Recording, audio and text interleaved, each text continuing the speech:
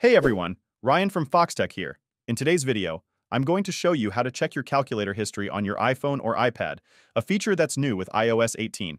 Let's get right into it. First, open the Calculator app. You'll find it in the Utilities folder.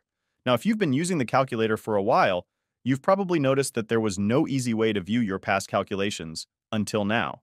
With iOS 18, the Calculator app has been updated, and you can finally access your calculation history. Here's how you do it. After you perform a few calculations, tap the three-line menu icon located at the top of the screen. This will open up the History section, where you can see a list of all the calculations you've made. It's really convenient if you need to double-check your work or reference something you've calculated earlier, but that's not all. You can also edit or delete specific entries from the history. Just tap Edit, and then you'll have the option to delete individual calculations.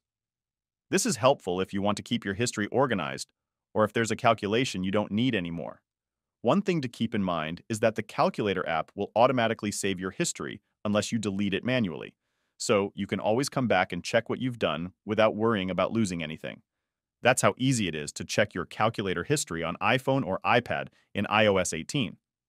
If you found this tip helpful and want more iOS 18 tricks, make sure to like and subscribe for more content just like this. Thanks for watching and see you later.